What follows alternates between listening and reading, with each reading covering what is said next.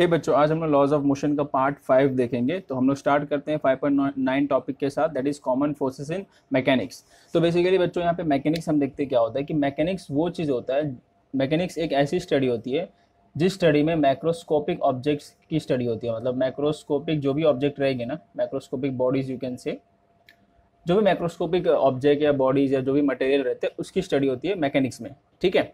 तो अब हम देखते हैं कि मैकेनिक्स में कॉमन जो फोर्सेस रहते हैं, वो क्या क्या होते हैं। वो ज़रा देखते हैं। अभी तक तो हमने देखा था कौन कौन से फोर्स होते हैं।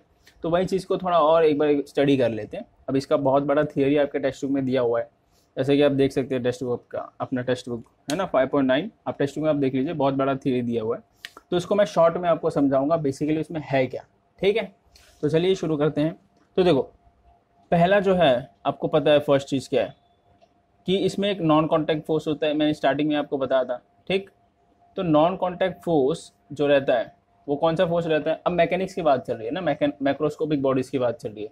तो नॉन कॉन्टैक्ट फोर्स में हम लोग को सबसे पहला फोर्स रहेगा ग्रेविटेशनल फोर्स ठीक? ये ग्रेविटेशनल फोर्स मैकेनिक्स का एक ऐसा पार्ट है जो कि बहुत मैसिव बहुत ज़्यादा मैसिव फोर्स है ये, क्योंकि ना, ठीक है मैकेनिक्स में सबसे ज़्यादा मैसिव फोर्स आपका ग्रेविटेशनल फोर्स ही है, ठीक है? अब ग्रेविटेशनल फोर्स क्या होता है कि अगर जैसे मैं आपको एग्जांपल लिया था, आप छत पे जाके पत्थर को खाली ड्रॉप कर दो तो वो सरफेस पे अपने आप ही अट्रैक्ट हो जाता है, ठीक है?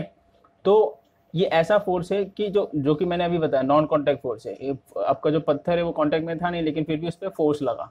वो जो पत्थर है वो सरफेस पे आया, ठीक है ना? फोर्स लगा ड्यू टू ग्रेविटी और ये जो ग्रेविटेशन फोर्स है, ऐसा नहीं कि जो अर्थ के सरफेस है, उसके ऊपर ही लगेगा। ऐसा नहीं है। अर्थ के जो बाहर भी ऑब्जेक्ट्स रहते हैं, ठीक है ना? बाहर जो ऑब्जेक्ट रहते हैं, उस पर भी ग्रेविटेशनल फोर्स लगता है। आप यू कैन से आप डिस्टेंस ऑब्जेक्ट जो रहते हैं जो दूर दूर ऑब्जेक्ट रहते हैं उस पर भी ये ग्रेविटेशन फोर्स एक्ट होता ही होता है ठीक है ना? तो ये आपका नॉन कॉन्टैक्ट फोर्स में आता है जो, जो कि ग्रेविटेशन फोर्स अब नॉन कॉन्टैक्ट फोर्स में इलेक्ट्रिकल फोर्स भी आता है मैग्नेटिक फोर्स भी आता है बट इस चीज़ में मैं यहाँ पर नहीं ले रहा हूँ। क्यों नहीं ले रहा हूँ? क्योंकि हम लोग मैकेनिक्स की बात कर रहे हैं। मतलब जो जो बात, जो मैकेनिक्स जो जो पार्ट हम लोग मैक्रोस्कोपिक बॉडी से डील करने वाले हैं, ठीक है ना? तो ग्रेविटेशन फोर्स आपका मैक्रोस्कोपिक बॉडीज पर ही लगता है। वो ऐसा चार्जेस वगैरह प्रोटॉन इस पर नहीं लगेगा तो इसके लिए मैं यहाँ पे मैग्नेटिक फोर्स और इलेक्ट्रिक फोर्स की बात नहीं कर रहा हूँ, ठीक है? तो ये पहला था आपका नॉन कॉन्टैक्ट फोर्स अब दूसरा हम लोग देखते हैं। दूसरा आपका कॉन्टैक्ट फोर्स जैसा कि मैंने आपको बताया था, दो टाइप के फोर्स होते हैं contact and non contact force तो कॉन्टैक्ट फोर्स में आपका क्या होता है? कौन कौन से फोर्स अब जैसे मैं एग्ज़ाम्पल लेके बताता हूँ, ठीक है? एग्ज़ाम्पल हमने कई बार ये चीज़ लिया हुआ एग्ज़ाम्पल तो यहाँ पर लेता हूँ मैं। एक टेबल है, सिंपल, वही एग्ज़ाम्पल एक टेबल है, उसके ऊपर बुक रखा हुआ है, ठीक है? अभी जो बुक है, इसके ऊपर कौन कौन सा फोर्स लगा है वो ज़रूर देखते हैं एक बार। तो देखो, जो बुक है, वो उस पर फोर्स लग रहा है, सबसे पहले तो वेट फोर्स लग रहा है, जिस, ठीक है? वेट फोर्स लगे नीचे की तरफ़ लगे मास इंटू एक्सीलेशन हमेशा फोर्स होता है। तो ये जो फोर्स है, वो वेट होता है बेसिकली मास इंटू ग्रेविटी हो जाता है, नीचे की तरफ़, ठीक है? इस पर ये फोर्स लग रहा है। अब ये जो टेबल है टेबल का सर्विस ये भी उसके ऊपर फोर्स लगा रहा है बुक के ऊपर। बाय न्यूटन थर्ड लॉ जो कि रहता है नॉर्मल रिएक्शन तो यहाँ पे दो फोर्स हो गया। एक वेट हो गया दूसरा नॉर्मल रिएक्शन ठीक? अब ये जो बुक है बुक अगर ये टेबल स्लीपरी रहता मतलब टेबल पे जो फ्रिक्शन कम रहता तो ये बुक स्लिप होता, है ना? लेकिन बुक उधर का उधर ही है क्यों? बिकॉज़ ऑफ़ फ्रिक्शन तो ये बुक पे आपका फ्रिक्शन फोर्स भी लग रहा है। अगर बुक ये साइड में स्लिप होने वाला रहता, ये साइड में तो फ्रिक्शन फोर्स ऐसे लगता, और अगर बुक ये साइड में चलता तो फ्रिक्शन फोर्स ऐसे लगता। तो इस पर आपका फ्रिक्शन फोर्स भी लग रहा है। इसका मतलब हमने, इसका मतलब हमने यहाँ पे क्या कौन कौन से फोर्स देख लिए? जो कॉन्टैक्ट फोर्स में, हमने देखा नॉर्मल रिएक्शन फोर्स है, एक वेट फोर्स है, ठीक है ना? वेट टुवर्ड्स दी ग्रेविटी एक फ्रिक्शन फोर्स है एफ़ फ्रिक्शन फोर्स है, ठीक है? तो हमने तीन फोर्स यहाँ पे देखा। तो यहाँ पे हमने कॉन्टैक्ट फोर्स में कौन कौन से फोर्स देखे? नॉर्मल वेट और फ्रिक्शन फोर्स अब एक और फोर्स होता है, जैसे कि सॉलिड और लिक्विड के बीच में होता है। किसके बीच में? सॉलिड और लिक्विड मैं ज़रा फटाफट ही कराऊँगा कि बिकॉज़ ये पूरा थियरी है। तो सॉलिड और लिक्विड के बीच में कौन सा फोर्स होता है? जिसको हम बोलते हैं बॉयसी फोर्स बॉयंट फोर्स तो जैसा कि आपने ग्लास ले लिया, ठीक है? ग्लास में आप ग्लास या कोई कुछ भी ले लो, आप बाल्टी आता है ना? बाल्टी क्या बोलते हैं? बाल्टी बोलते हैं ना? उसमें ले लो। बाल्टी में आप एक काम करो, आप पानी भर लो, ठीक है? तो उस पानी में अगर आप कोई टोप उल्टा करके डालो मतलब ऐसा टोप रहता है ना? ऐसा टोप रहता है। तो ऐसे डालो, ऐसा मत डालो, टोप। ऐसा आप डालोगे तो क्या होता है कि ये पानी ऐसा हो जाता है, थोड़ा जितना टोप का स्पेस रहता है वो पानी वो कवर कर लेता है। जितना वो टोप का स्पेस रहता है, पानी थोड़ा सेपरेट होकर ऊपर चला जाता है और यहाँ पे आपका टोप आ जाता है सपोज़ ये टोप, ठीक है? मग्गल ले लो या टोप ले लो, जो भी है। तो इसमें क्या लगता है कि जितना भी पानी जो है सेपरेट हुआ है मतलब सेपरेट मतलब जितना भी पानी को वो स्पेस हुआ स्पेस लिया है उसने यू कैन से डिस्प्लेस हुआ है। ये जो पानी पहले यहाँ तक था ना, इतना पानी डिस्प्लेस हो गया। पहले ऐसे था, इतना, अब इतना पानी जो डिस्प्लेस हो गया। तो जितना भी पानी, जितना भी पानी ये डिस्प्लेस हुआ, उतना ही फोर्स उसके ऊपर लगता है, जिसको हम बोलते हैं बॉयंसी फोर्स इसका नाम क्या है? बॉयसी फोर्स मैं नीचे लिखता हूँ। चलो यहाँ पे लिखता हूँ। इसका नाम क्या है? बी बॉयंसी फोर्स ठीक है? तो बॉयसी फोर्स आपका कौन सा फोर्स होता है? जितना भी पानी ये जो डिस्प्लेस होता है सॉलिड की वजह से, ये अपने जो मग्गा डाला है ये सॉलिड है, मग या टोप जो भी है जो भी सॉलिड की वजह से जितना भी पानी डिस्प्लेस होता है तो उसकी वजह से एक फोर्स लगता है नीचे की तरफ़। देख आपने देखा होगा एक्सपीरियंस किया होगा ना, मग आप डालो, ऐसा ऐसा करके, उल्टा करके मग डालो, ठीक है? तो आपको मग के ऊपर एक फोर्स लगता है पानी की तरफ़ से, जिसको हम बोलते हैं बॉयंसी फोर्स तो ये भी एक कॉन्टैक्ट फोर्स में आता है, क्योंकि है ना सॉलिड ये सॉलिड हो गया मग्गा और ये लिक्विड हो गया। ये जो है, ये सारे लिक्विड हो गए। तो लिक्विड और सॉलिड के बीच में फोर्स लग रहा है। इसको हम बोलेंगे कॉन्टैक्ट फोर्स इसका नाम है बॉयंसी फोर्स ये समझे? तो कॉन्टैक्ट फोर्स में अभी तक हमने चार फोर्स देख लिया normal direction force weight force friction force और ये बॉयंसी फोर्स ठीक है? तो देखो, अब कॉन्टैक्ट फोर्स में अभी एक हम लोग और दो फोर्स देखते हैं। मतलब टोटल छः फोर्स ये आप नोट करते रहना, ठीक है? आप स्टॉप करके जैसा भी मैं आपको बता रहा हूँ, आप नोट कर लेना। तो देखो, ये तो चार फोर्स हम लोगों ने देख लिया। मतलब अभी तक हम लोगों ने कितना फोर्स देखा? फोर फोर्सेस अब हम लोग और दो फोर्सेस देखते हैं, वो कौन कौन से फोर्सेस हैं?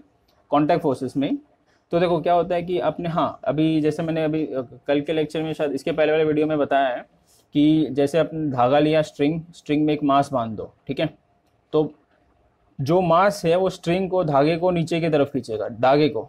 तो बाय न्यूटन थर्ड लॉ हमको पता है कि every action equal opposite reaction ठीक है ना? ये पता है। तो मतलब वो एक्शन रिएक्शन वहाँ पे हमने पढ़ा भी था न्यूटन थर्ड लॉ में। क्या होता है, वो एक्शन रिएक्शन कुछ नहीं होता है, बल्कि फोर्स होता है, ठीक है ना? तो यहाँ पे जैसे अगर वो धागे को, ये मास नीचे की तरफ़ खींच रहा है तो ये जो धागा है स्ट्रिंग है, वो मास को ऊपर की तरफ़ खींचेगा, जिसको हम बोलते हैं टेंशन तो एक और फोर्स हमने कौन सा देखा? टेंशन फोर्स ठीक है ना? टेंशन भी एक फोर्स होता है, जो कि इक्वल रहता है इसके वेट के बराबर रहते हैं। जो जितना भी मास खींच रहा है ना, उसके इक्वल ही रहेगा, ठीक है? तो ये पांचवा फोर्स हो गया, ये फिफ्थ फोर्स हो गया। अब हम लोग एक और फोर्स देखते हैं सिक्स वाला। वो कौन सा होता है, जरा मैं आपको बताता हूँ इसको रफ करके। तो जो भी आप पहले नोट कर लो, ठीक है? हम लोग अभी तक कॉन्टैक्ट फोर्स में पाँच टाइप के फोर्स देखो मैकेनिक्स की बात कर रहे हैं तो नॉन कॉन्टैक्ट फोर्स में सिर्फ़ हम एक ही फोर्स देखेंगे, जो कि हम ग्रेविटेशनल फोर्स होता है, ठीक है ना? मैकेनिक्स की बात कर रहे तो। और नॉन कॉन्टैक्ट फोर्स में हमने कौन कौन सा देखा? कि नॉर्मल रिएक्शन फोर्स देखा वेट वाला फोर्स देखा फ्रिक्शन फोर्स देखा, तीन हो गया। सॉलिड लिक्विड के बीच में जो फोर्स लगता है, जिसको बोलते हैं बॉन्सी फोर्स होता है, चार फोर्स हो गया, ठीक है ना? चार फोर्स ये ये सारे हो गए, और जो पांचवा फोर्स देखा वो टेंशन फोर्स ठीक है ना? टेंशन फोर्स देखा नॉर्मलाइजेशन तो देख लिया तो पाँच फोर्स हो गया, पाँच फोर्स हो गया, और एक फोर्स हम लोग देखने वाले हैं, जो कि छह फोर्स हम लोग यहाँ पे देखेंगे। तो ठीक है, यहाँ इतना कॉपी कर लो आप रफ करता हूँ।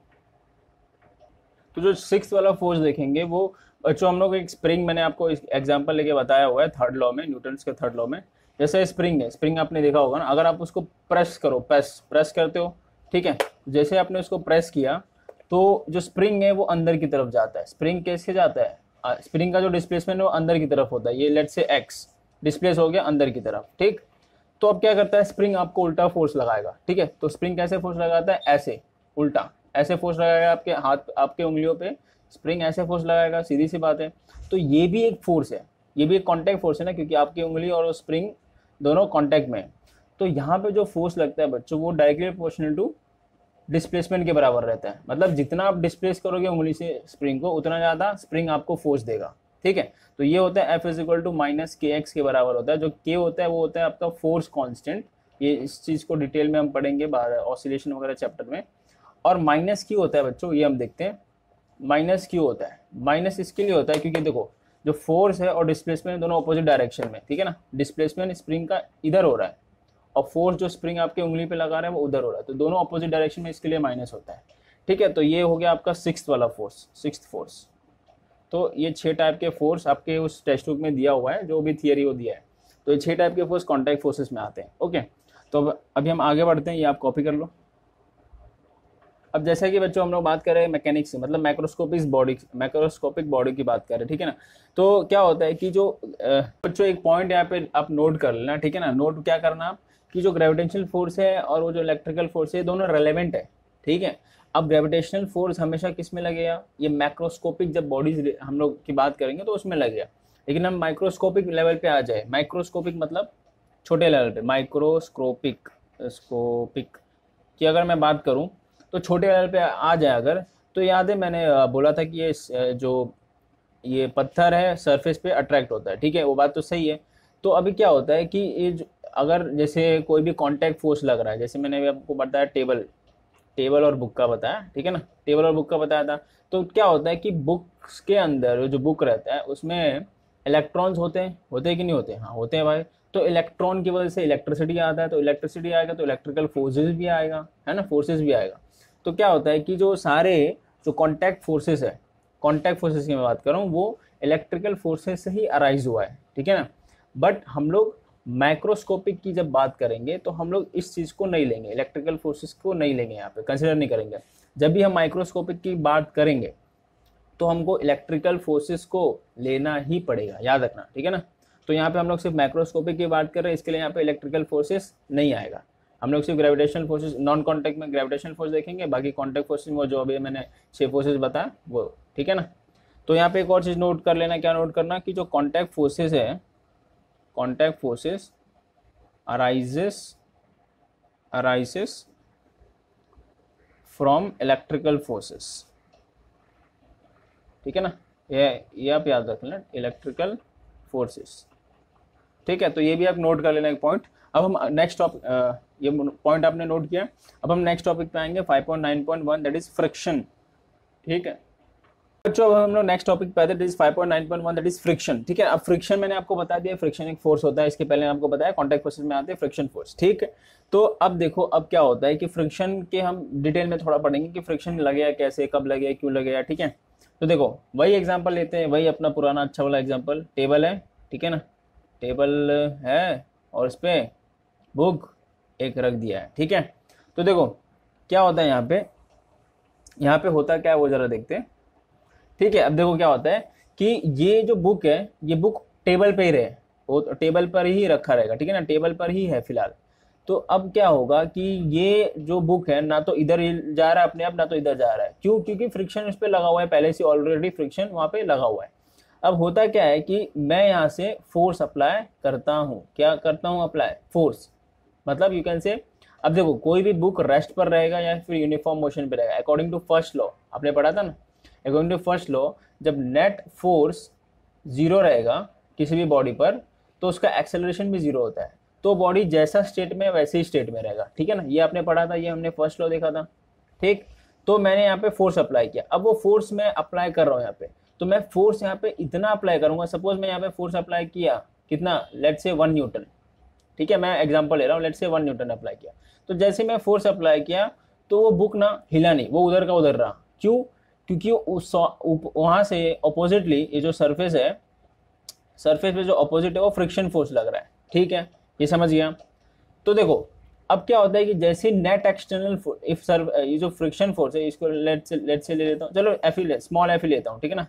जो फ्रिक्शन फोर्स है, उसको मैं स्मॉल एफ़ से ही कंसिडर करता हूँ मैं यहाँ पे, ठीक है?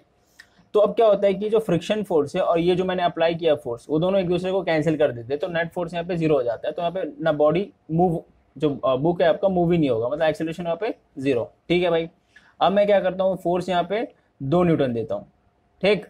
तो अब अब देखो यहाँ पे एक चीज़ नोट करना, ध्यान से नोट करना कि जैसे मैं जैसे मैं एक्सटर्नल फोर्स कितना वन न्यूटन दिया था ना? वन न्यूटन दिया था।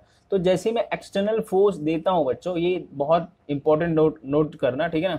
तो जो फ्रिक्शन अप्लाई करता है, जो फ्रिक्शन मतलब लगता है बुक पे सरफेस पे तो वो फ्रिक्शन स्टैटिक फ्रिक्शन होता है। मैंने सिर्फ़ स्मॉल एफ़ लिया था, बल्कि स्मॉल एफ़ एस होता है स्टैटिक फ्रिक्शन इसको हम लोग क्या बोलते हैं? स्टैटिक फ्रिक्शन अब ये स्टैटिक फ्रिक्शन क्या होता है, जरा मैं आपको बता देता हूँ। स्टैटिक फ्रिक्शन मतलब वो कि स्टैटिक मतलब क्या होता है कि जो रुका हुआ।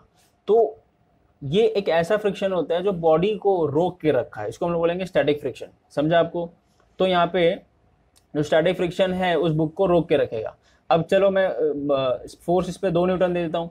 तो भी वो जो स्टैटिक फ्रिक्शन है, वो रोक के रखेगा। तो ये थोड़ा ज़्यादा हो जाएगा। लेट से ज़्यादा मैक्सिमम हो जाएगा। ठीक है? मैक्सिमम मैक्सिमम स्टैटिक फ्रिक्शन हो जाएगा। तब तब, क्योंकि तब तक वो बुक को रोक के रखेगा। ऑपोजिटली वो बुक को वहीं पे रोक के रखेगा। तो यहाँ पे भी नेट एक्शनल फोर्स ज़ीरो ही लगा है अभी तक। तो वहाँ पे बॉडी बुक में कोई एक्सेलेशन नहीं आया। तो अब मैं क्या करूँ, जो स्टैटिक फ्रिक्शन यहाँ पे अब मैक्सिमम पहुँच गया, क्योंकि जो स्टैटिक फ्रिक्शन है मैक्सिमम वो टू न्यूटन को ही रोक सकता है। टू न्यूटन जब मैं फोर्स अप्लाई करता हूँ, उतने ही रोक सकता है। लेट्स से वो मैक्सिमम स्टैटिक फ्रिक्शन हो गया। तो जैसे ही मैंने यहाँ पे फोर्स थ्री न्यूटन अप्लाई किया, अब वो बुक मूव होने लगा। अब वो बुक मूव होने लगा।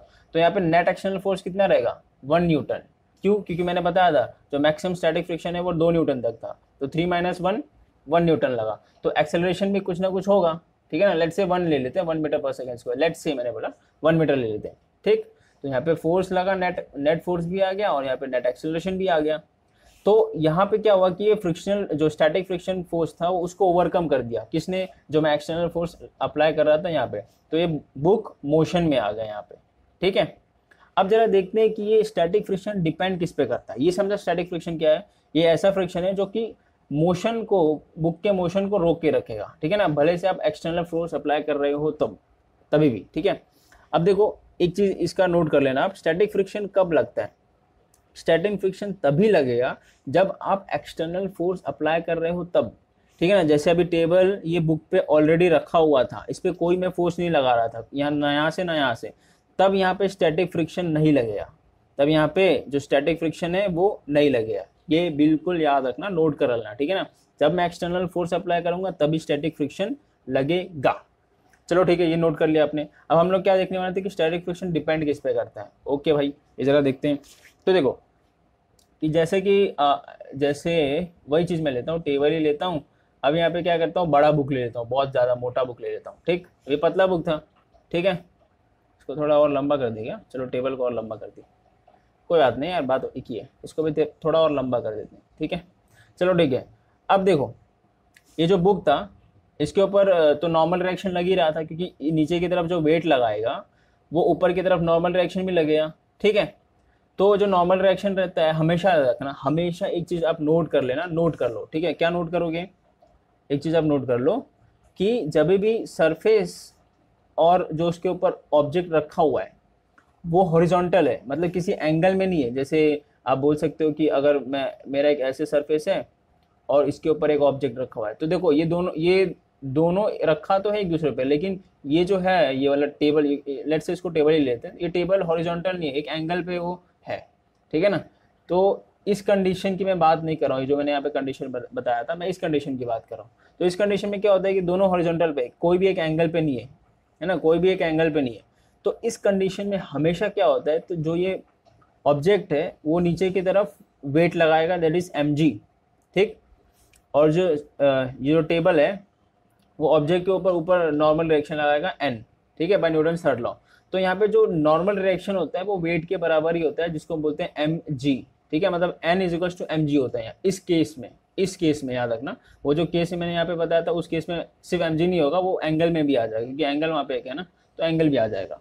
तो ये आप नोट करके रखना, बिल्कुल रख लेना नोट करके।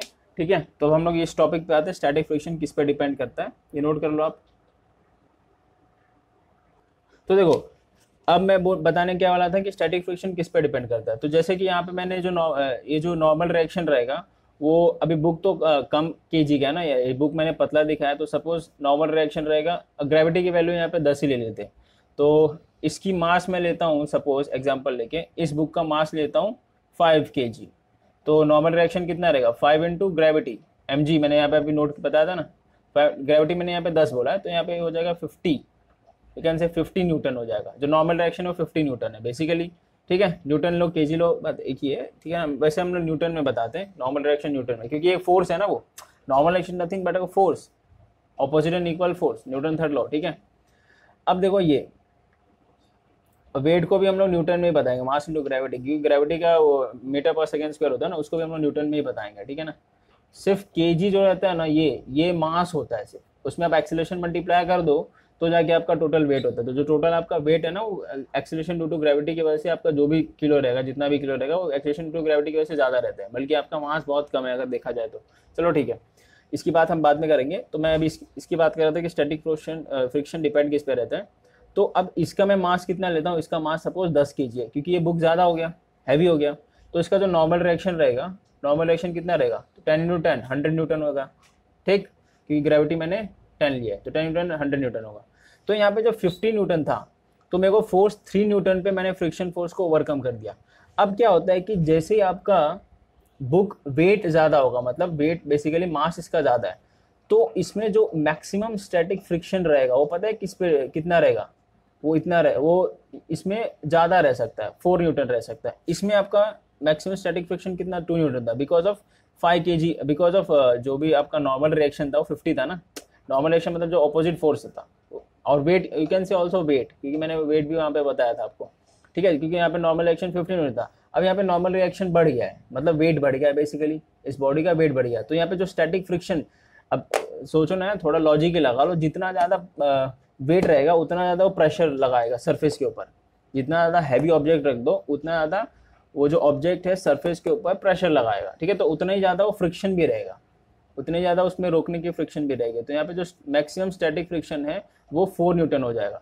तो यहाँ पे आपको जो भी फोर्स लगाना पड़ेगा, वो five capital F external force लगाना पड़ेगा, वो फाइव न्यूटन लगाना पड़ेगा। क्योंकि फाइव फोर से बड़ा है, तब जाके ये मोशन में होगा, ठीक है? ये ऑब्जेक्ट तो ये समझे आप? मतलब यहाँ से मुझे क्या मालूम पड़ा कि जो स्टैटिक फ्रिक्शन है मैक्सिमम किस पे डिपेंड करता है? नॉर्मल रिएक्शन ये मैं आपको यही बताने वाला था। जो स्टैटिक फ्रिक्शन है, वो किस पर डिपेंड करेगा? जो बॉडी का वेट है बेसिकली आप बोल सकते हो कि वेट के ऊपर डिपेंड करेगा। बॉडी का कितना वेट है तो स्टैटिक फ्रिक्शन में उस पर डिपेंड करता है। ठीक?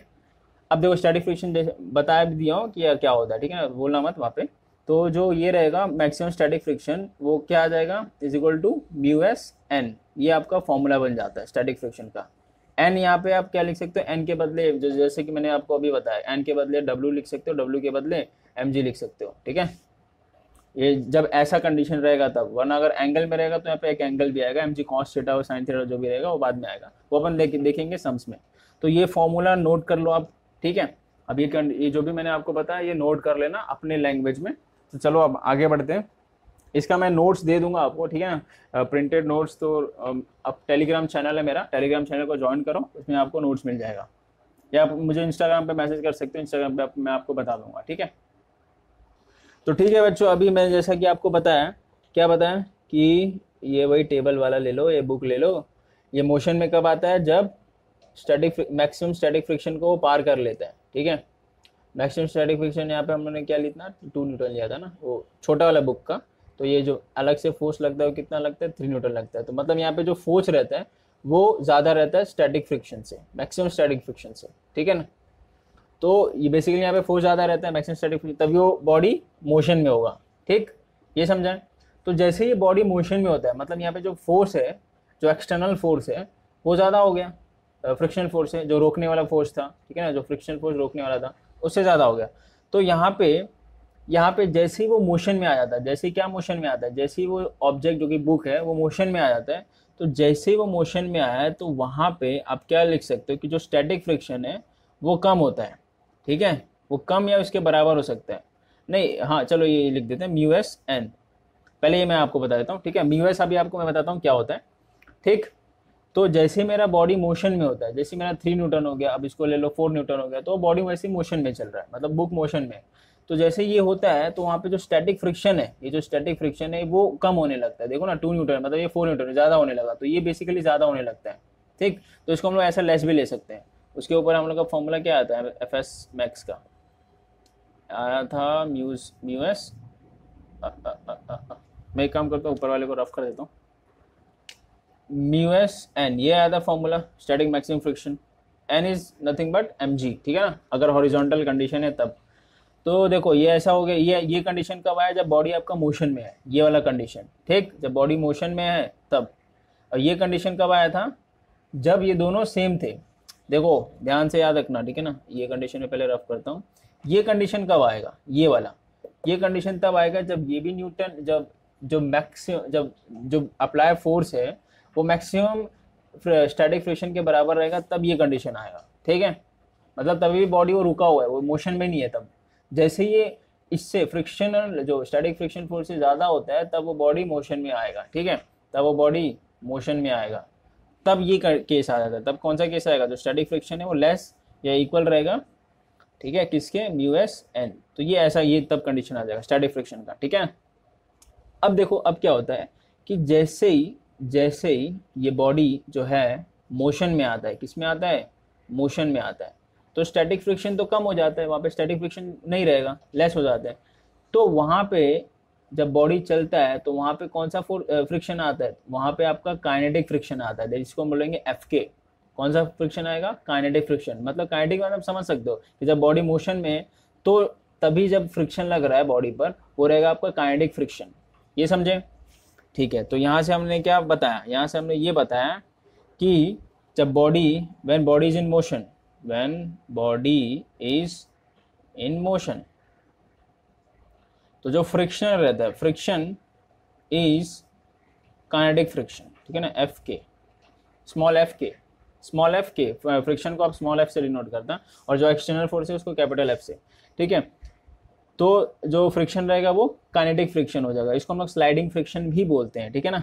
इसको हम लोग स्लाइडिंग फ्रिक्शन भी बोलेंगे। तो ये इसी पे डिपेंड मतलब इसका जो लॉ है, इसी पे डिपेंड करेगा। क्योंकि इस पर भी नॉर्मल रिएक्शन हर पॉइंट पे लगना ही है, किस पे बॉडी पे। तो जो काइनेटिक फ्रिक्शन है, वो किस पे डिपेंड करेगा? सेम नॉर्मल रिएक्शन पे। ठीक है? ठीक है? तो और यहाँ पे जो एफ़ के रहेगा, वो is equals to mu K N हो जाएगा। ठीक? तो ये काइनेटिक फ्रिक्शन का भी सेम ऐसे आएगा म्यू के एन तो ये भी आप नोट कर लेना इंपॉर्टेंट से ये काइनेटिक फ्रिक्शन कब लगेगा? जब बॉडी मोशन में है, तब लगेगा। रुका हुआ है, तब नहीं लगेगा। ठीक है? तो ये चीज़ बहुत इंपॉर्टेंट चीज़ है। नोट कर लेना। ठीक? ओके ठीक है जी। अब हम लोग बात करते हैं कि म्यूएस ये जो ये म्यूएस यहाँ पे था ना, ये म्यूएस क्या है? ये भी इंपॉर्टेंट है। ये वाला फॉर्मूला तो मैं आपको बताई ये दोनों इंपॉर्टेंट है। तो म्यूएस यहाँ पे रहता है कोएफिशिएंट ऑफ़ स्टैटिक फ्रिक्शन इसको हम लोग क्या बोलेंगे? Coefficient of static friction static friction ठीक है? और फ्रिक्शन मैंने पूरा नहीं लिखा है, आप समझ गए ना? और यहाँ पे जो म्यू के रहेगा, वो रहेगा कोएफिशिएंट ऑफ़ कोएफिशिएंट ऑफ़ ये कौन सा फ्रिक्शन था? Kinetic friction kinetic kinetic friction ठीक है? तो ये आप नोट कर लेना, जो म्यू से कोएफिशिएंट ऑफ़ स्टैटिक फ्रिक्शन रहता है म्यू के रहता है कोएफिशिएंट ऑफ़ काइनेटिक फ्रिक्शन चलो जी, ठीक है, ये जरा हम, ये हमने देख लिया, ओके जी. अब इन दोनों में रिलेशन क्या है, जरा वो देखते हैं म्यू एस एंड म्यू के में. तो हमेशा याद रखना, हमेशा। एक्सपेरिमेंट क्या सजेस्ट करता है? एक्सपेरिमेंट ये सजेस्ट करता है कि जो म्यू के है, जो म्यू एस है, वो बड़ा रहेगा म्यू के से, ठीक है?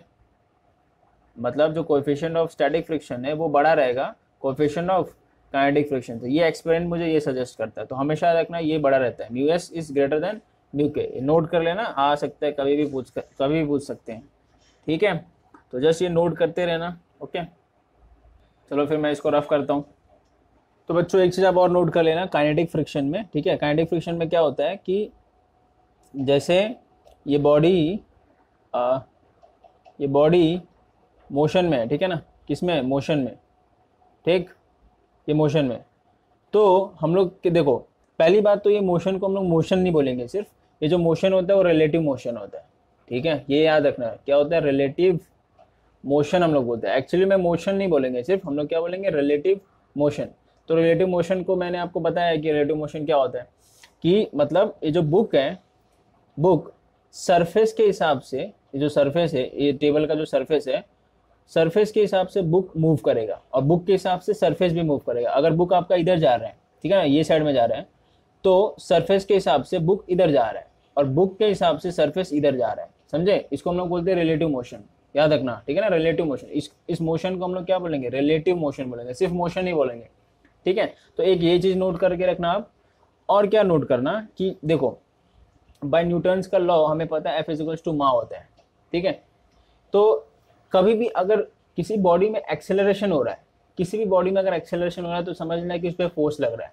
अब मास तो यार हम लोग बता सकते हैं ना कि मतलब इस बॉडी पे, इस, अगर मास की, अगर इसमें मास नहीं रहेगा तो आप कैसे बताओगे कि इस बॉडी पे एक्सेलरेशन लग रहा है, ठीक है ना? तो उस बॉडी का हम लोग को मास भी कंसिडर करना पड़ता है। तो यहाँ पे मैंने क्या आपको बताया कि कभी भी अगर किसी बॉडी पे एक्सेलरेशन लग रहा है तो समझना इस पर फोर्स भी लग रहा है एक्सटर्नल नेट फोर्स भी लग रहा है, ठीक?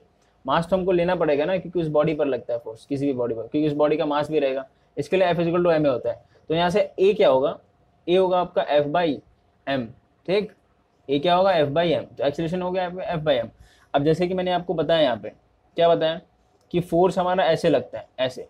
जो फोर्स है नेट एक्शन हम लोग जो अलग से फोर्स लगाते हैं। अब ये बॉडी मोशन में है मतलब रिलेटिव मोशन में है तो इसमें फ्रिक्शन फोर्स एफ़ के लगे है। ओपोजिट रखता है, हमेशा फ्रिक्शन फोर्स अपोजिट ही लगता है। तो यहाँ पे जो एक्सेलरेशन होगा, वो क्या होगा? अभी बॉडी मोशन में मतलब एक्सेलरेशन हो रहा है तो। तो F minus F K upon M ये इस पर एक्सेलरेशन होगा, है ना? जितना भी ये फोर्स है सपोज़ ये फोर्स मेरा कितना रहेगा? ये फोर्स ले लेते हैं दस न्यूटन है। और ये जो काइनेटिक फ्रिक्शन है काइनेटिक फ्रिक्शन है, उसका force let say five Newton है। तो जो टोटल एक्सेलरेशन लगेगा इस बॉडी पर, वो क्या होगा? बताओ ten minus five Newton upon M तो ten minus five is five upon M जो एक्सेलेशन लगेगा वो फाइव अपॉन एम रहेगा। वो बॉडी का मास कुछ भी ले लो, अब एक्सेलेशन आप बता सकते हो। मास अगर मैं फाइव ले लिया तो फाइव वन हो जाएगा, ठीक है? समझाइए? तो ये एक्सेलरेशन जो नेट एक्सेलरेशन होता है, वो ऐसे लगता है। ये जो आप फोर्स अप्लाई कर रहे हो माइनस का आइडिक क्योंकि ऑपोजिट है ना तो माइनस तो करना पड़ेगा। ये समझे? अब बॉडी ये, यहाँ पे बॉडी क्या हो रहा था कि एक्सेलरेशन में था, ठीक है? एक्सेलरेशन में था तो जो आपका एक्सेलरेशन है, वो ही लगेगा। लेकिन जब बॉडी यूनिफॉर्म मोशन में रहेगा यूनिफॉर्म मोशन ठीक? तो जो आपका फोर्स लगता है नेट एक्शनल फोर्स वो फ्रिक्शनल फोर्स के बराबर हो जाता है। ये हमेशा याद रखना।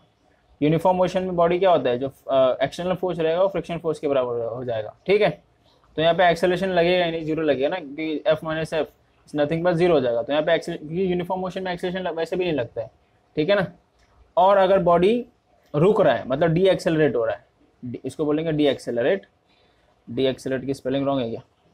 डी एक्सेलरेट हो रहा है, ठीक है? जब बॉडी डी एक्सेलरेट हो रहा है तो जो फोर्स है, वो आपका लेस देन एफ़ के है, ठीक है? मतलब जो एक्सटर्नल फोर्स है, वो कम लग रहा है इससे। मतलब डी एक्सेलरेट में क्या होगा कि ये थ्री न्यूटन लगेगा। ठीक है?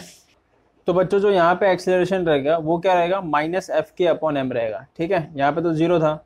और इस कंडीशन में minus F K upon M. तो ये भी आप याद रखना फॉर काइनेटिक फ्रिक्शन में। मतलब जब फ्रिक्शन काइनेटिक लग रहा था मतलब बॉडी जब रिलेटिव मोशन में है तभी। ठीक है? तो ये भी एक नोट आप करके रखना। अपने खुद के लैंग्वेज में नोट करके रखो। जैसा मैंने आपको सिखाया, वैसे आप नोट करके रखो। ठीक है? तो चलो ये स्टैटिक अभी समझ गया ना आपको स्टैटिक फ्रिक्शन और अपना काइनेटिक फ्रिक्शन में क्या फ़र्क है? स्टैटिक फ्रिक्शन वो फ्रिक्शन होता है। चलो ये स्टैटिक फ्रिक्शन मैं बताता हूँ।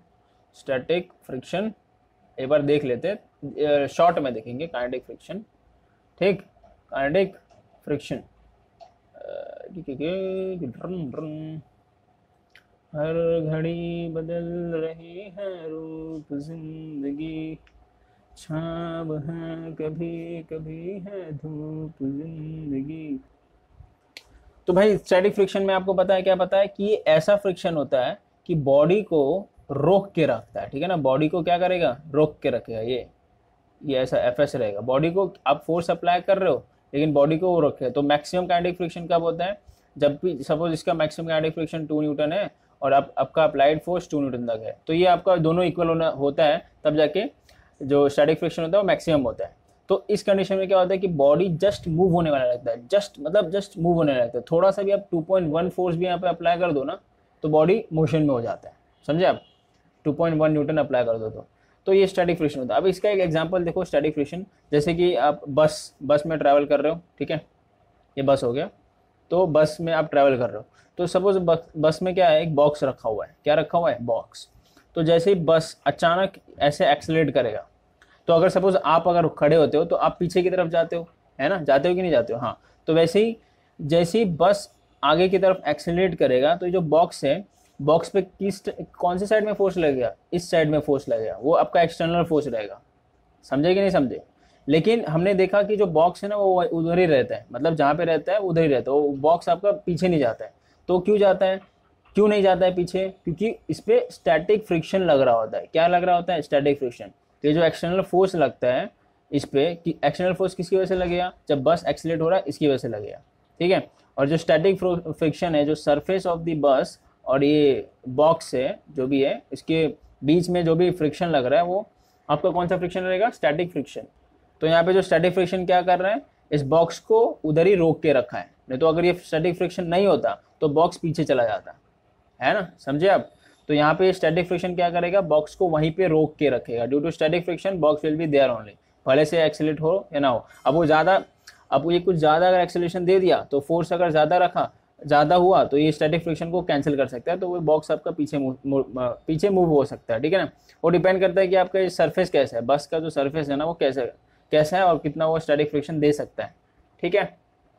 तो बच्चों, मैंने यहाँ पे क्या बताया? पहले आपको बताया एक्सेलेशन मतलब ही फोर्स होता है, ठीक है ना? जैसे बस एक्सीट करेगा तो ये भी बॉक्स को ऐसे इस तरफ़ एक्सीट करेगा मतलब फोर्स लगा रहा है बेसिकली तो वैसे ही फ्रिक्शन फोर्स ऐसे लगेगा मतलब समझ गया ना? यहाँ पे मैं क्या बोल रहा हूँ? तो वही चीज़ें, यहाँ पे फ्रिक्शन फोर्स की वजह से बॉक्स जो है आपका उधर ही रहेगा। अब वो डिपेंड करता है कि आपका बस कौन से एक्सेलरेट एक्सेलेशन से एक्सेलरेट करा। अगर ज़्यादा एक्सेलेशन से एक्सेलरेट किया तो फोर्स भी ज़्यादा लगेगा इस साइड में। तो फ्रिक्शन फोर्स को शायद वो कैंसिल भी कर सके। ठीक? तो ये स्टैटिक फ्रिक्शन अब काइनेटिक फ्रिक्शन कब रखता है?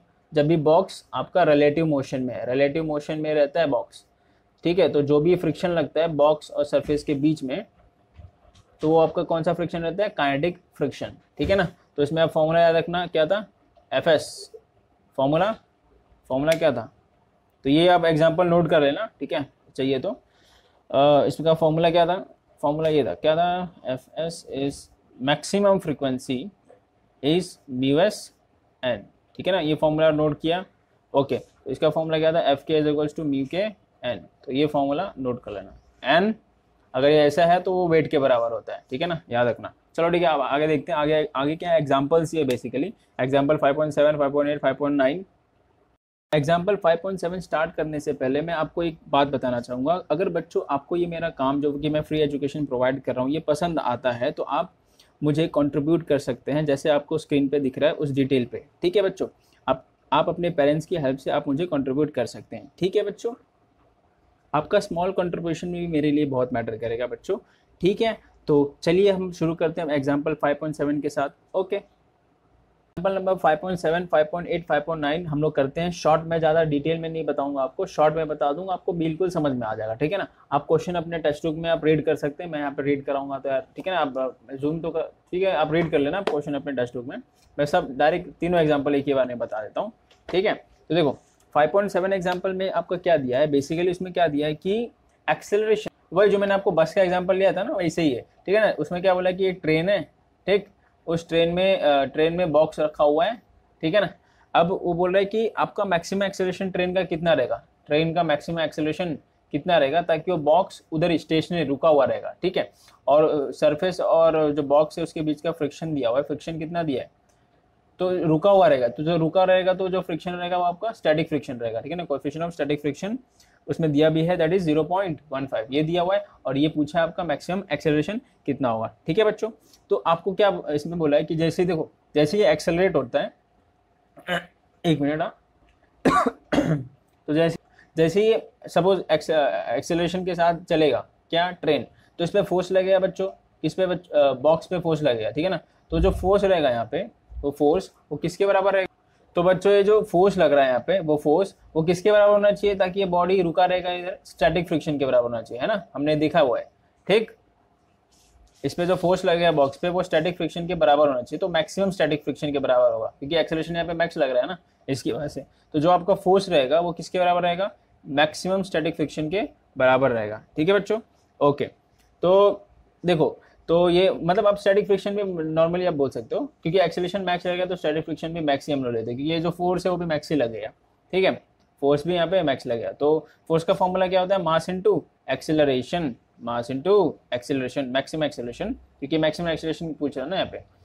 तो एफ़ एस का फॉर्मूला क्या होता है? बी एस एन ठीक है? ओके भाई, ये हमको मालूम पड़ गया। तो जैसा कि मैंने आपको बताया, जो एन रहता है वो वेट के बराबर रहता है, ठीक है? तो ये जो एन है, उसके बदले में क्या लिख सकता हूँ? एम लिख सकता हूँ। हाँ भाई तो ये मास ये मास कैंसिल हो गया। हाँ भाई तो ए कितना आएगा? ए मैक्स आएगा बी एस जी ठीक है ना? तो जी देखो जी उसमें बोला है कि टेन है टेन तो एम कितना आएगा? आप लगा लो। बी एस आपको पता है ज़ीरो पॉइंट वन फाइव और जी कितना है? टेन तो आप लगाओगे तो कितना आता है? फिफ्टीन फिफ्टीन ए मैक्स कितना आएगा? Fifteen metre. फिफ्टीन नहीं आएगा टेन वन पॉइंट फाइव आएगा सॉरी मल्टीप्लीकेशन मिस्टेक 1.5 मीटर पर सेकेंड स्क्वायर ठीक है? तो ये आपका ए मैक्स मिल गया। ये समझा 5.7 चलो हम लोग 5.8 पे आते हैं। तो बच्चों हम लोग एग्ज़ाम्पल नंबर 5.8 देखते हैं। ठीक है? तो इसमें क्या है कि एक सरफेस है। ओके तो ये सरफेस के ऊपर एक बॉक्स रखा हुआ है। इस बॉक्स का जो मास है वो कितना है? वो फोर के है। ठीक? अब ये बॉक्स जो है कि जस्ट स्लाइड होने वाला है। इसका मतलब जो भी उस पर फ्रिक्शन लग रहा होगा, वो फ्रिक्शन कौन सा होगा? स्टैटिक फ्रिक्शन ठीक है? तो स्टैटिक फ्रिक्शन इसमें कितना दिया है? कोएफिशिएंट ऑफ़ स्टैटिक फ्रिक्शन वही आपको फाइंड करना है, ठीक है ना? Static coefficient of static friction आपको फाइंड करना है यहाँ पे, ठीक? अब ये एक एंगल में है, ये जो सरफेस है तो एंगल कितना है? थीटा यहाँ पे थीटा इज़ 15 डिग्री ठीक है? आपके बुक में सॉल्व एग्ज़ाम्पल में दिया हुआ है। तो इसमें बोल, आपको क्या पूछा है कि कोएफिशिएंट ऑफ़ स्टैटिक फ्रिक्शन कितना होगा? ये सरफेस और इस बॉक्स के बीच में, ठीक? तो चलो फाइंड करते हैं, कैसे फाइंड करेंगे? अब देखो, अगर मैं इसको रिजॉल्व करूँ बाई फ्री बॉडी डायग्राम से तो देखो कैसे रिजॉल्व करेंगे हम लोग? रिजॉल्व करते हैं इसको। यहाँ पे ये सरफेस है और ये आपका बॉडी है, ठीक? अब इस पर रिजॉल्व रिजॉल्व करने का मतलब क्या? कि कौन कौन सा उस पर फोर्स लग रहा है। तो चलो, जो इस पर पहला, जो ग्रेव जो आपका वेट लगेगा, वो नीचे की तरफ़ लगेगा, ठीक है? तो ये आपका क्या रहेगा? M G okay G. तो और जो इस पर फ्रिक्शन लग रहा है स्टैटिक जो फ्रिक्शन फोर्स लग रहा है, वो किस तरफ़ लग रहा है? वो इस डायरेक्शन में लग रहा है ना? एफ़ एस ये आपका स्टैटिक फ्रिक्शन फोर्स और इस पर क्या लगेगा? नॉर्मल रिएक्शन तो जो नॉर्मल रिएक्शन लगता है, वो हमेशा परपेंडिकुलरली लगता है टू दी सर्फेस ये मैंने आपको बताया टू दी जो भी ऑब्जेक्ट रहता है, उस पर परपेंडिकुलरली लगता है, ठीक है? और टू दी सर्फेस भी रहता है. तो ये आपका नॉर्मल रिएक्शन हो गया. तो यहाँ पे देखो, जो नॉर्मल रिएक्शन है, वो वेट के बराबर यहाँ पे नहीं है, क्योंकि यहाँ पे देखो ये नहीं है ना पैरल मतलब सीधा ऑपोजिट नहीं है सीधा, ठीक है? मैंने आपको क्या बताया था, जब भी एक एंगल पे रहेगा वो सरफेस तब आपका normal reaction is not equals to सिर्फ़ एम जी ठीक है ना? वहाँ पे एक एंगल भी आएगा, जो कि एंगल यहाँ पे है थीटा ठीक है? तो देखो, अब इसको हम लोग को रिजॉल्व करना है बेसिकली किसको रिजॉल्व करना है? नॉर्मल रिएक्शन को और वेट को। नॉर्मल रिएक्शन को रिजॉल्व करने की ज़रूरत नहीं सीधा हम लोग वेट को रिजॉल्व करेंगे, ठीक है? तो देखो रिजोल्यूशन ऑफ़ वैक्टर मैंने आपको बताया था, कैसे हम लोग करते हैं। तो रिजोल्यूशन ऑफ़ वैक्टर के हिसाब से ये जो है, ये वैक्टर है, ये जो है, ये 90 डिग्री में रिजॉल्व होता है। तो ये 90 डिग्री मतलब एक ऐसा हो जाएगा, एक इस डायरेक्शन में और एक इस डायरेक्शन में हो जाएगा। तो ये हो गया ना 90 डिग्री ठीक? और ये एंगल थीटा है। तो ये जो एंगल रहेगा ना, ये ये भी थीटा रहेगा। ठीक है? तो देखो, ये एमजी है। तो जिस जिस लाइन पर थीटा रहता है, वो क्या रहता है? कॉस थीटा तो ये हो जाएगा आपका एम जी कॉस थीटा ठीक है? और जिस पे थीटा नहीं रहता है, वो क्या हो जाएगा? Sine theta M G sine theta okay? तो अभी हम लोग ऑपोजिट ले सकते हैं इक्वल एंड ऑपोजिट मतलब जो नॉर्मल रिएक्शन के जो ऑपोजिट है, वो एम जी कॉस थीटा है। और जो फ्रिक्शन फोर्स के जो ऑपोजिट है, वो क्या है? वो एम जी साइन थीटा ये दोनों बैलेंस कर रहे हैं, ठीक है? तो बाय बैलेंसिंग हम लोग क्या लिख सकते हैं? By balancing normal reaction is equals to M G cos theta ऐसे मैं लिख सकता हूँ। जो नॉर्मल रिएक्शन है, वो इसके बराबर है। और जो फ्रिक्शनल फोर्स है स्टैटिक फ्रिक्शन फोर्स है वो आपका क्या कि, किसके बराबर है? किसके इक्वल टू है? एम जी साइन थीटा ठीक है? तो आपको क्या करना है? डिवाइड करना और कुछ नहीं। ये फ़र्स्ट ले लो ये सेकंड ले लो। ठीक है? ये आप फ़र्स्ट ले लो। ये फ़र्स्ट ले लो। तो dividing two by one dividing two by one इसका मतलब मैं एफ़ एस को ऊपर रखता हूँ।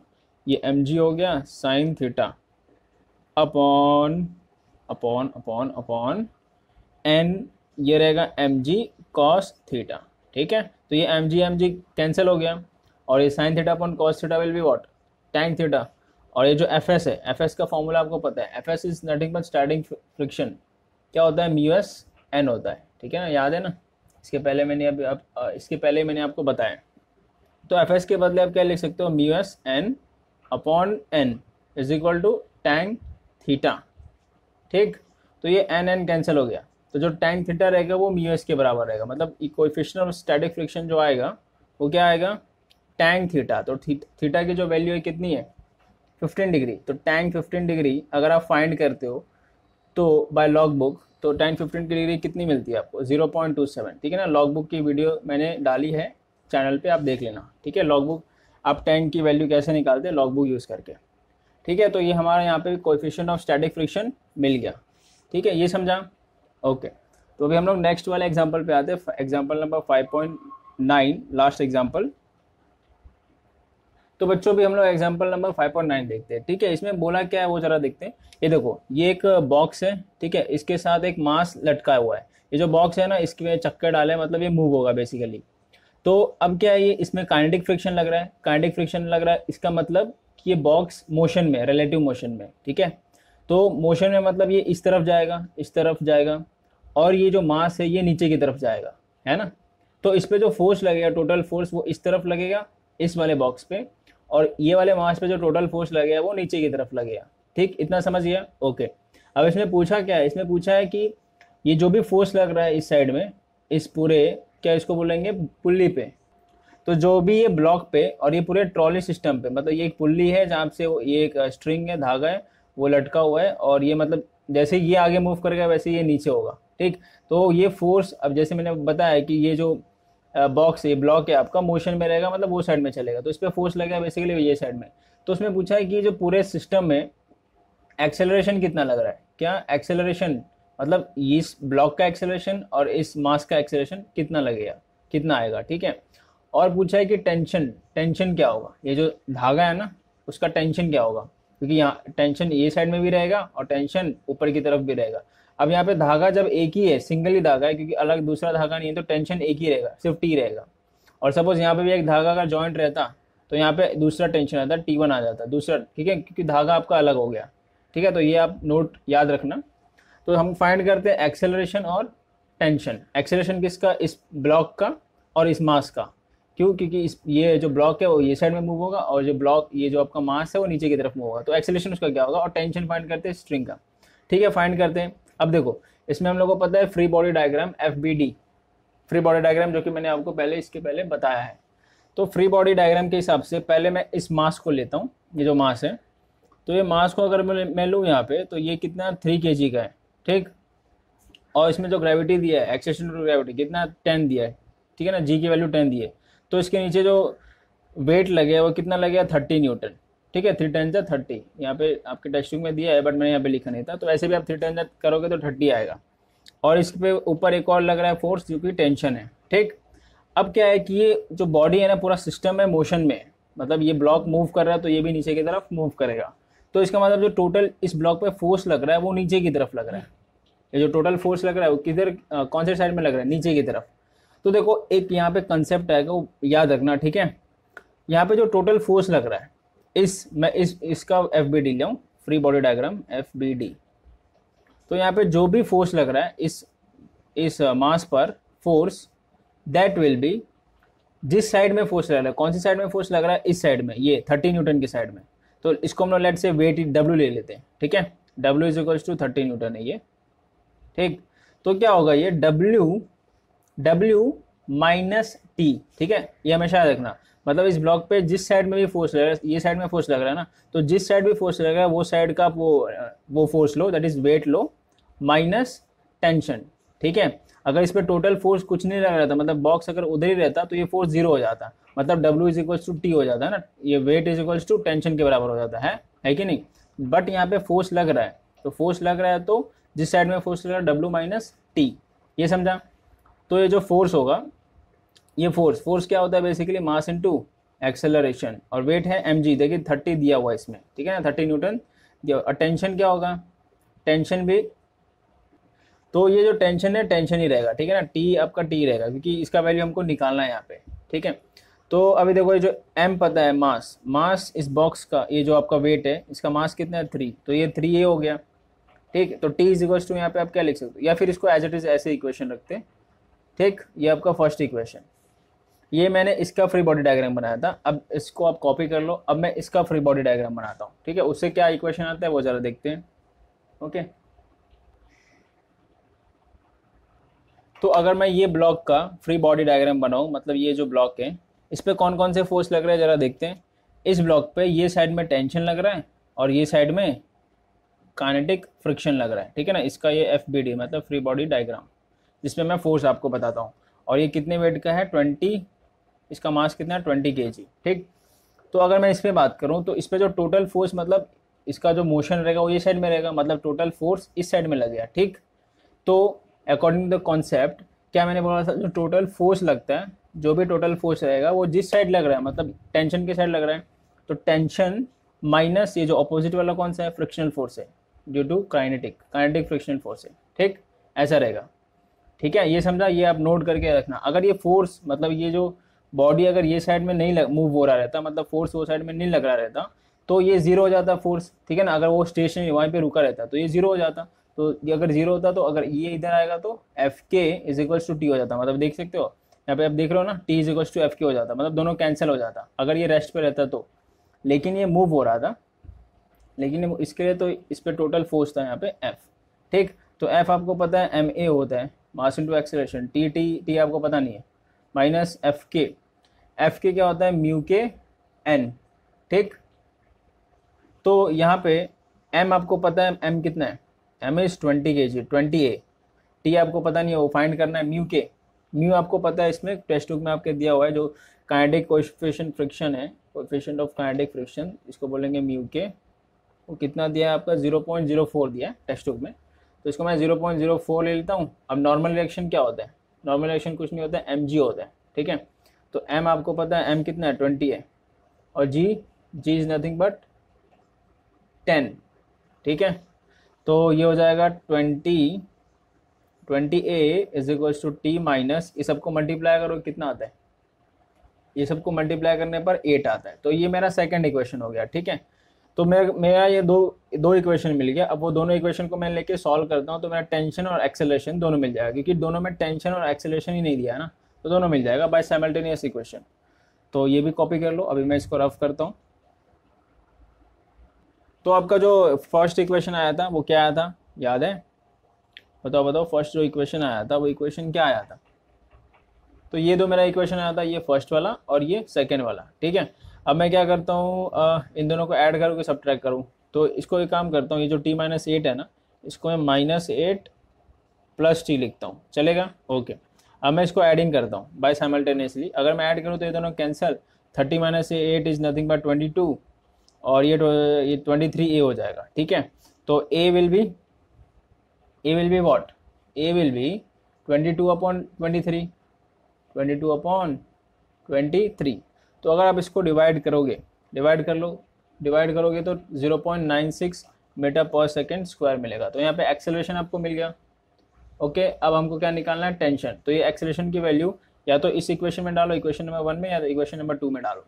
तो अगर आप इक्वेशन नंबर मैं चलो वन में ले लेता हूँ thirty minus T is equals to three ये हो गया ज़ीरो पॉइंट नाइन सिक्स ठीक है? ज़ीरो पॉइंट नाइन सिक्स ठीक है मल्टीप्लाई करने के बाद ये जो माइनस टेंशन है, वो उधर जाएगा।